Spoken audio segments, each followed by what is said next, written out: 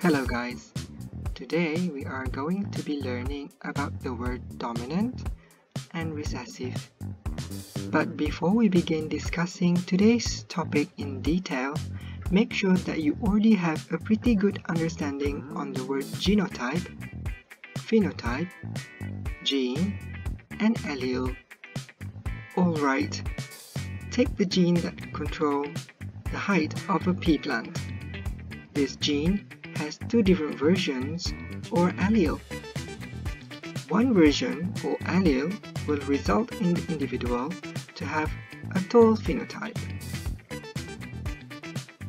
Another allele or version will result in the individual to have dwarf phenotype.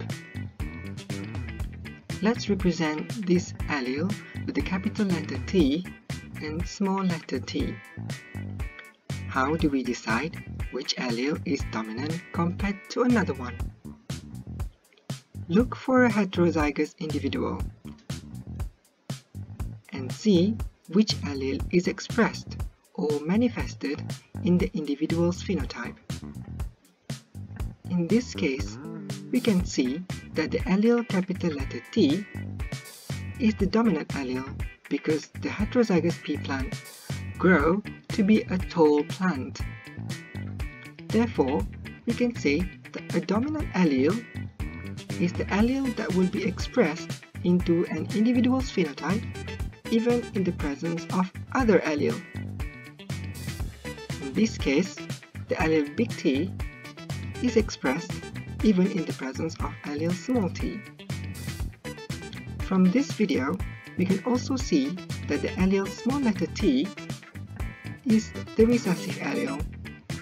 This is because it will not be expressed into an individual's phenotype if other allele is present. In this case, in the presence of capital letter T. It will only be expressed into a person's phenotype if the individual is in homozygous condition. Most of the time, dominant allele is represented with a capital letter, but this is not always the case. Example includes the gene that controls wing length in fruit fly Drosophila melanogaster. The allele are represented with VG that give rise to a normal wing, like this one, and VG that give rise to vestigial wings or shorten non-functioning wings like this one. So, based on the fruit fly with the following genotype and phenotype, which allele is the dominant allele?